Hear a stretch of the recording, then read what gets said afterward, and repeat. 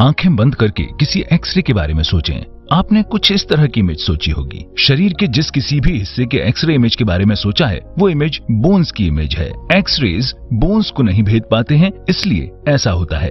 X-rays की इस property को रेडियो ऑपेसिटी कहते हैं। आपके गैस्ट्रोइंटेस्टाइनल ट्रैक्ट यानी जठरांत्र पथ में पेट और आंतों का भी एक्सरे इमेज लिया जा सकता है। लेकिन इसके लिए आपको किसी तरह के एक्सरे को सॉफ्ट मसल और टिश्यू को भेदने से रोकना होगा। एक्सरेज को रोकने के लिए आपको बेरियम मील निगलना पड़ेगा। ये व्हाइट चौक के लिक्विड जैसा दिखता है, लेकिन वास्तव में ये बेरियम सल्फेट का सस्पेंशन है, जो सफ़ेद रंग का अघुलनशील ठोस होता है।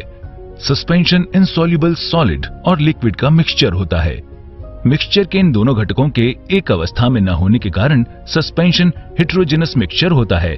बालू पानी में नहीं घुलती, इसलिए आप इसे बालू और पानी के मिक्सचर जैसा मान सकते हैं। अगर कुछ देर के लिए हम इस मिक्सचर को छोड़ दें तो बालू बर्तन की तली में बैठ जाती है। दवाइयों की बोतलों पे उसे हिला के इस्तेमाल करने के इंस्ट्रक्शंस लिखे रहते हैं। इनमें भी सस्पेंशन जैसी प्रक्रिया होती है। दवाई में इंसॉल्युबल सॉलिड्स शीशी की तली पे बैठ जाते हैं। दवाई को इस्तेमाल करने से पहले हिलाने से सॉलिड्स एक समान रूप से पूरे लिक्विड में फैल जाते हैं। बेरियम मील के लिए भी यही किया जाना चाहिए। बेरियम के अधिकतर कंपाउंड्स हानिकारक होते हैं। हालाँकि निगला गया बेरियम मील सुरक्षित ढंग से आपके शरीर में बिना एब्जॉर्ब हुए इस्तेमाल किया जा सकता है।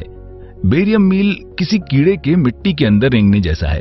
ठीक बेरियम मील की तरह कीड़ा मिट्टी द्वारा एब्जॉर्ब नहीं किया जाता। जब कीड़ा मिट्टी के बाहर आता है तो उसे कोई नुकसान नहीं होता। बेरियम सल्फेट के अत्याधुनिक इनसॉल्यूबल होने के कारण शरीर इसे एब्जॉर्ब नहीं करता। अगर इसे आप कभी इस्तेमाल करेंगे तो आप पाएँगे कि इसका टेस्ट चौक जैसा होता है। साथ ही ये अत्यधिक थिक और डेंस यानी गाढ़ा और घना होता है। इसका टेस्ट बदलने के लिए कई बार इसमें अलग अलग फ्लेवर्स मिलाए जाते हैं। जब ये गैस्ट्रोइंटेस्टाइनल ट्रैक्ट से निकलता है तो इसकी डेंसिटी बोन्स की डेंसिटी के बराबर हो जाती है। डेंसिटी ज़्यादा होने के कारण एक्सरेज इसे भेद नहीं पाती, जिससे इमेज बन जाती है।